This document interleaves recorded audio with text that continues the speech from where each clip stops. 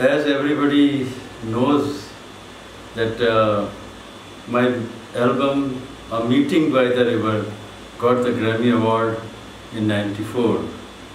There is a very beautiful uh, composition, Isa Lei was played in there.